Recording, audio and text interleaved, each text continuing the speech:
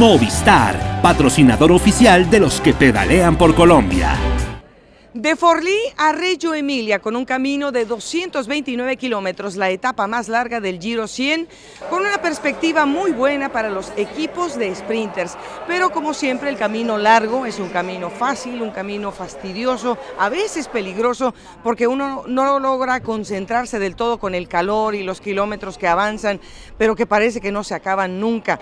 A final de cuentas, una fuga de tres hizo la fiesta, eh, Firsanov, Marcato y también eh, Mirko Maestri estuvieron allá adelante marcando la diferencia, más de 220 kilómetros casi en esa fuga y a final de cuentas es el equipo del Quickstep Floors el que se enfila, el que realmente hace la vida más fácil para el mejor sprinter en este momento que se llama Fernando Gaviria. Pero hubo un, susto en el camino porque a poco menos de 20 kilómetros Maxi Richese se desprende del grupo de trabajo por un pinchazo y hubo un poco de preocupación para que no pudiera regresar al lado de Fernando Gaviria. Sin embargo, el argentino recupera el aliento, llega y acompaña a Fernando para esta tripleta de victorias que le están dando una historia diferente al ciclismo colombiano. Estas son las palabras de Fernando Gaviria. Solo hablo Max, Brahma tengo un pinchazo, entonces llega un poco de temor porque sabía que es una de las piezas más importantes para mí para el sprint.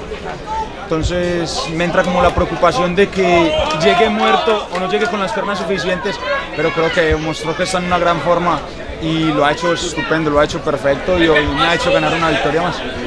Afortunadamente para todos los líderes de clasificación general el día pasó desapercibido, claro, en las piernas no, pero en cualquier acontecimiento negativo sí. Y Nairo Quintana hizo una jornada tranquila, siempre bien protegido. Hay que destacar esa labor del Movistar hasta el final. Ahora tendremos la etapa 13 en Tórtona con poco menos de 170 kilómetros, una etapa completamente llana en donde otra vez Colombia puede aspirar a una victoria. ¿Será la cuarta para Fernando Gaviria? ¿Usted qué piensa? Mande sus buenas vidas que viajan millones de kilómetros a la distancia para que el hombre tenga mañana otra vez la opción de la victoria.